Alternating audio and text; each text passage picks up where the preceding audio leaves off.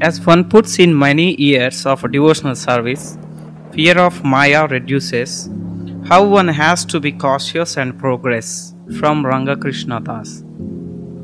His mother Yasoda was always worried about the safety of her son. Just that Mother Yashoda was always worried about the safety of her son.